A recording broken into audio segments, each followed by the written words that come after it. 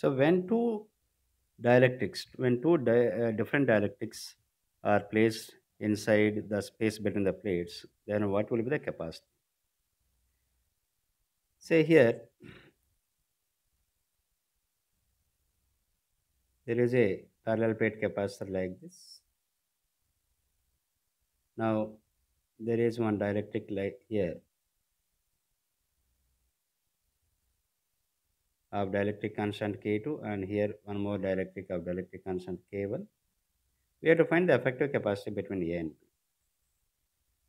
So these two dielectrics will split these two dielectrics will split this entire capacitor into two capacitors.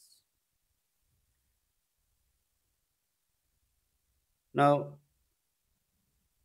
the area of the plates of the entire capacitor, the, uh, the initial capacitor is A, then the area of this capacitor is A by 2, this capacitor is A by 2, and separation between the plates is D.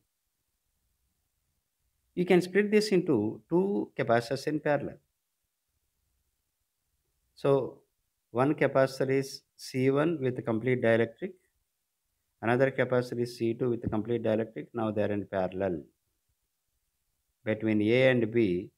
So, between which points they ask you to find the effective capacity, between those points, you assume a battery to be connected. So, this is C1, this is C2. So, what is C1? Here, area of C1 is, area of the plates of C1 is A by 2, but separation is D. So, C1 is equal to K1 epsilon naught A by D, A by 2 by D. So, that is equal to K1 epsilon naught A by 2D. Similarly, what is C2?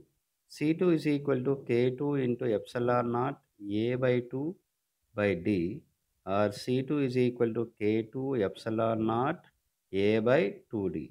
Now they are in parallel. So C AB is equal to C1 plus C2. So K1 epsilon naught A by 2D plus K2 epsilon naught A by 2D. So what we can take common here?